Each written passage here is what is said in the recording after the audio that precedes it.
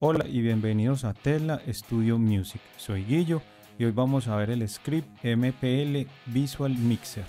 Vamos al video. Bueno amigos, aquí tenemos ya el icono creado para el script MPL Visual Mixer.lua. Ustedes ya lo saben crear, ya saben que aquí se le da clic derecho, Customize Toolbar, adicionar, van y buscan el MPL Visual eh, Mixer, eh, lo agregan, le cambian el icono y le dan OK. ¿Qué es lo que yo quiero con este plugin? Primero voy a sacar de aquí estos tres tracks que son unos, unas mezclas. Voy a poner el, el, mezclador, control M. Resulta que aquí yo veo que hay paneos, hay paneos, pero yo no sé realmente visualmente cómo está todo, todo el proyecto paneado. Puedo hacer dos cosas. Una, seleccionar todos los tracks de principio a fin, ¿cierto? Y hundir el, script y él me va a mostrar en esta ventana cómo están paneados todo es el, el panorama estéreo, que está al centro, que está a la izquierda y que está a la derecha, left y right, que está a la izquierda, que está a la derecha y que está al centro. Me está mostrando todos los paneos y puedo inclusive hacer varias pantallas, puedo pasarme hacia otras pantallas. Pero ¿qué pasa? Yo, eh, eh, aunque eso está bien ahí, yo veo por ejemplo esta utilidad. Yo digo, yo quiero comparar el kick con el bajo, perdón, el kick, el bajo, con el kick y con la voz líder. Y les voy a poner en solo. Esos tres tracks solamente y los quiero ver en el panorama estéreo. Entonces, listo. Entonces aquí veo bajo, voz y kick. Acá yo digo, bueno, están en el centro, listo. Entonces, primera cosa, me parece bien, están en el centro porque el bajo y el kick están en la base y la voz debe ir al centro. En mi, en mi concepto, esta voz líder debe ir en el centro. Las voces de backing track pueden ir izquierda y derecha porque son para llenar, para hacer un efecto estéreo. Pero resulta que yo no me había dado cuenta y aquí me acabo de dar cuenta que la amplitud o el volumen del bajo está más alto que el de la voz y eso no es correcto. Algo pasó cuando hice la mezcla, no sé qué pasó, de, pronto fue que no puse en contexto la voz con el bajo. Entonces yo lo que voy a hacer es que este bajo lo voy a tomar de aquí, aquí mismo en el plugin, no, no allá, o sea, vamos a ver el bajo si está aquí a un ladito, vamos a ponerlo aquí a un ladito. Vamos a poner este, esta ventana aquí a un lado, vamos a cerrarlo un poquito.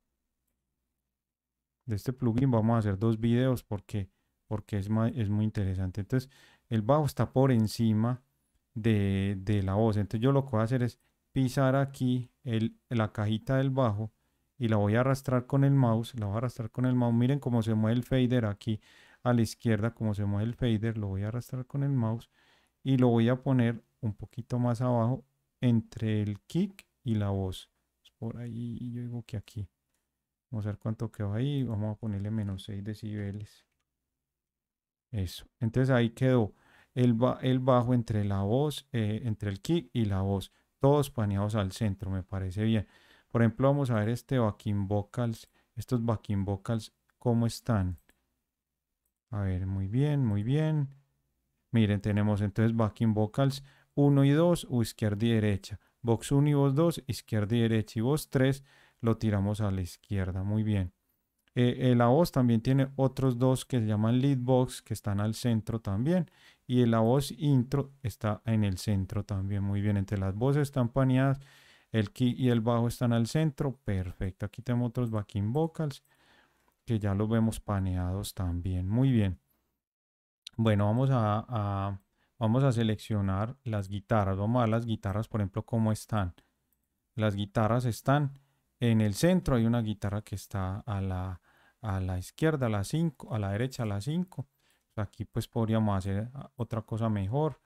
De repente, de repente, eh, vamos a, ah, perdón, es que me faltaron, me faltó seleccionar estas guitarras bien. Vamos a seleccionarlas bien. Está una al centro, que es la principal, y las otras están paneadas izquierda derecha. Perfecto, me parece que las guitarras quedaron muy bien.